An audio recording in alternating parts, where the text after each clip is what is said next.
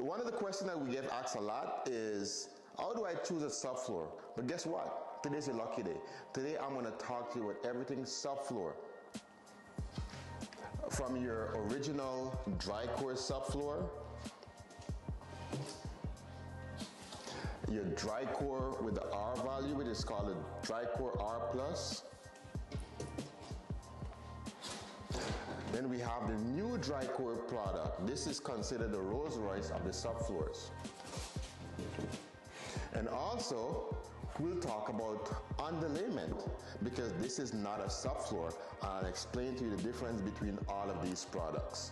The reason why you want to use an underlayment or a subfloor is for moisture control, right? Most basement has moisture in the concrete. So you want to make sure you check to see if you have a moisture problem. But if you do, even if you don't have a moisture problem, I recommend you use some type of underlayment when you're installing your floors.